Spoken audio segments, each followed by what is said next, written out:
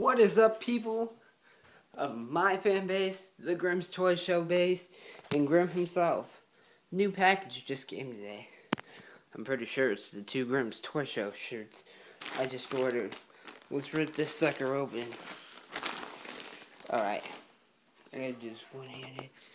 Here, let's see if I can get the flower tripod to work today. Flower tripod.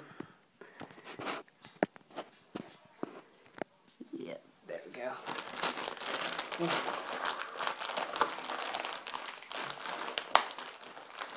There we go. Oh yeah. What the fuck's this? There's a note in here. Oh, it's a receipt. Alright. Ooh, the packaging. Brand new shirt. Oh yeah. Oh yeah. Dude, Generation Fat. It, yeah. And of course, we got the Grim's Toy Show logo right on the back. This is by Spreadshirt. I've been meaning to get these for a long time.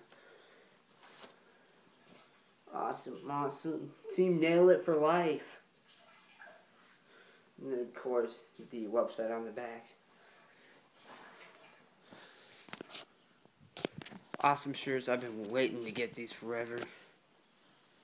Ever since I ordered them. Officially Team Nailed It and D Generation Fat. Eat it, yeah!